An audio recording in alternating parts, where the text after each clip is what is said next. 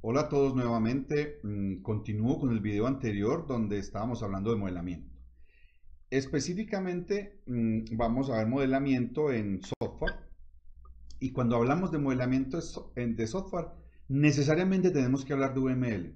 No es el único lenguaje de modelamiento que existe, pero sí es el lenguaje de modelamiento unificado que ha permitido que profesionales de software alrededor del mundo nos entendamos y podamos entender sistemas complejos, entenderlos y modelarlos de la misma manera.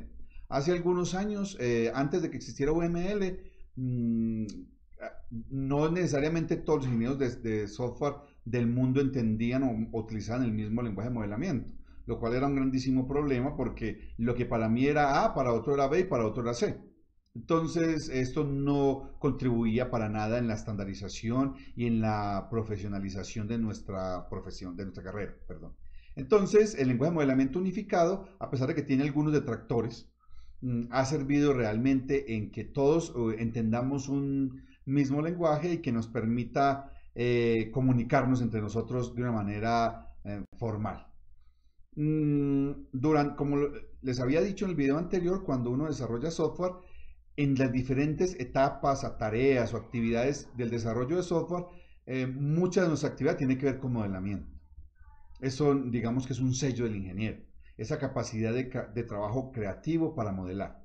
Y nosotros vamos a, utilizar el UML, por las siglas en inglés, el lenguaje de modelamiento unificado.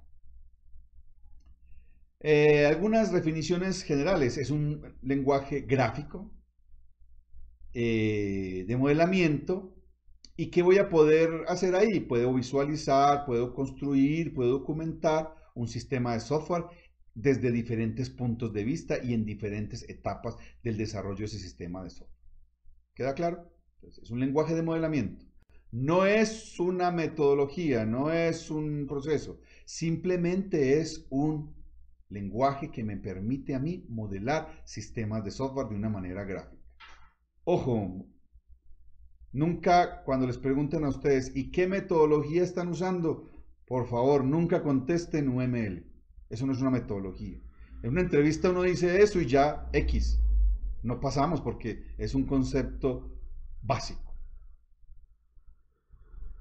¿Qué tiene un lenguaje? Los lenguajes de modelamiento de software, al igual que cualquier lenguaje, tiene unos elementos fundamentales, la sintaxis. ¿Qué me dice la sintaxis? ¿Cómo debo escribir las cosas? Cómo debo modelar. Pero no, la sintaxis no me dice qué significa un modelo. Entonces, ahí viene la otra parte. Lo que me dice a mí qué significa un modelo es la semántica. Entonces, UML, lenguaje gráfico de modelamiento, que tiene sintaxis, es decir, me va a decir cómo hacer los gráficos, cómo hacer los modelos, y me va a decir cómo interpretar o qué quiere decir un modelo. Ya cuando tenemos más que suficiente para modelar. ¿Cuál es la estructura de UML? UML está formado por vistas. Es decir, que me permiten representar, son modelos que me permiten, diagramas más bien, que me permiten entender o visualizar un sistema desde un punto de vista. Esto existe mucho en otros en otros, eh, dominios del conocimiento. Por ejemplo, en ingeniería civil, si yo tengo un edificio y quiero saber su parte eléctrica, pues veo el modelo eléctrico. Si quiero saber su parte estructural, pues miro el modelo estructural. Si quiero ver su parte de, digamos, de domótica o de seguridad, pues miro este modelo de, domótica y seguridad. Si quiero un modelo más real, pues miro el, prototipo de este modelo. Es decir, no, un modelo que tuviera todo ahí, la parte de, acueducto, la parte eléctrica, la parte de seguridad, la parte de, de, resistencia, pues no sería entendible. Entonces, igual en software, yo tengo vistas dependiendo del punto de vista, queda redundante, pero es así de lo que quiera visualizar o ver en el modelo. Los modelos están formados, pero las vistas son un conjunto de diagramas. Ya son elementos gráficos que representan alguna entidad o algún, alguna, ya algo definitivo del sistema. Los view, las vistas tienen diagramas. Y los diagramas están conformados por elementos de modelamiento. Digamos que es el elemento básico. Entonces, esto es algo como jerárquico. Las vistas tienen diagramas, los diagramas tienen, eh, los diagramas tienen elementos de modelamiento. Además, UML me permite extenderse, digamos que con las vistas que tiene los diagramas y los modelos de los elementos que, tiene, que tenemos en UML no es suficiente, mm, podemos extender o adaptar el UML para nuestras necesidades. Por eso uno puede encontrar a veces UML para sistemas multiagentes, por ejemplo, o UML para Smart Cities. Ese tipo de cosas es porque mm, el UML permite hacer esta extensión. ¿Cuáles son las vistas? Tenemos las vistas de casos de uso. Generalmente estos modelos no solamente van, a ser entendidos por la parte técnica del sistema, los desarrolladores, eh, sino que también es entendible o es entendida más bien por los usuarios. Me permiten dar una vista externa del sistema sin ahondarme internamente de cómo funciona. También vamos a tener vistas lógicas que, me, como el nombre lo dice, me dan la funcionalidad del sistema. Vamos a tener, no olvidemos que, que las vistas están formadas por diagramas. Vamos a entender vistas de implementación, de que generalmente me van a tener cosas que tienen que ver con el código, el código fuente, los componentes de software, eh, las librerías, etc.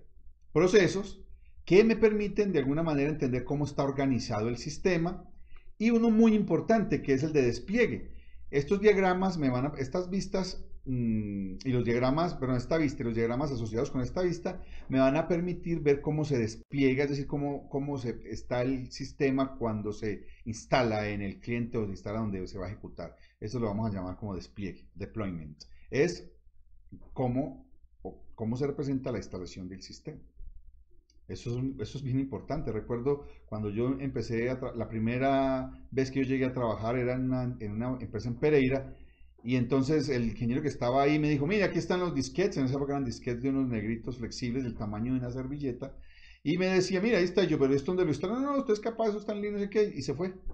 Y yo no, me hubiera sido de mucha utilidad un diagrama que me dijera en dónde estaba el servidor, qué se instalaba en el servidor, qué se instalaba en el cliente, qué librerías eran necesarias, etc. Eso es lo que me va a decir el diagrama de despliegue.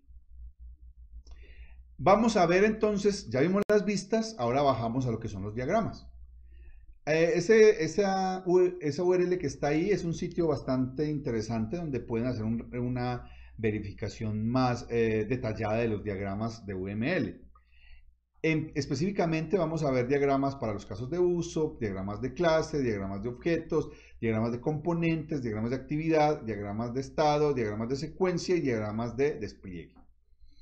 Mm, aquí solamente estamos dando una introducción a UML. A lo largo de este curso vamos a utilizar muchos de estos diagramas y vamos a ver cómo se usan. Entonces aquí solamente voy a mostrar lo que sería la generalidad. Vamos a ir a este sitio, vamos a ver cómo está la conexión de internet aquí y vamos a ver los diagramas de los use cases o los diagramas de casos de uso.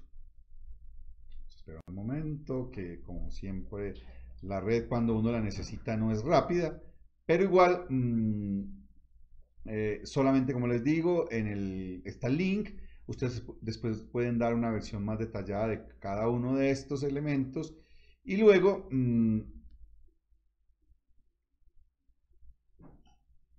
en el transcurso de los otros temas del curso, pues ya eh, tendremos la posibilidad de profundizar más en estos conceptos. Entonces, ¿qué diagramas no son interesantes, no son importantes? Pues los diagramas de... Uy, uy, uy. Los diagramas de casos de uso. Voy a tratar aquí de cambiar un poco para no quedar yo ahí como con esta luz así.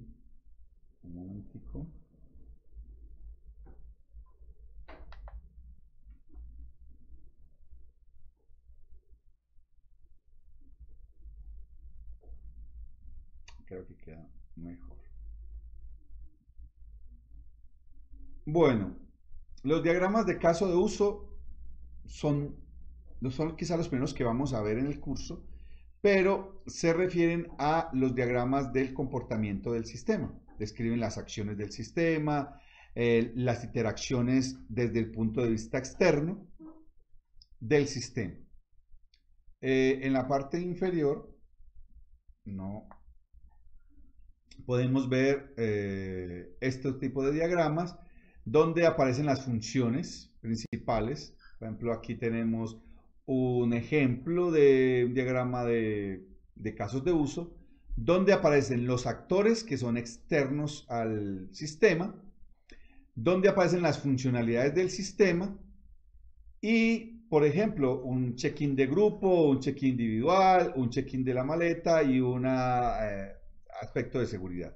Vamos a ver que este sistema lo que me está representando es como el, proceso de check-in en, un, en un modelo de negocio, digamos, o del usuario que está haciendo un check-in en el, aeropuerto, puede ser. Entonces aparecen aquí ciertos elementos de comportamiento del sistema hacia afuera. No vamos a profundizar más en esto, sino entender que los diagramas de caso de uso me dan una visión externa del sistema, de las funcionalidades que mm, ofrece el sistema. En este caso tiene cuatro funcionalidades y además me está diciendo los actores que interactúan con el sistema. Eh, de nuevo, este es un video corto, voy a dejarlo por ahora allí para cambiar la configuración de también y mejorar un poco la visibilidad de lo que estamos haciendo, pero este video lo voy a dejar aquí. Nos vemos en el próximo video para seguir eh, haciendo, em, mejor seguir estudiando los diferentes diagramas que nos van a interesar en este curso.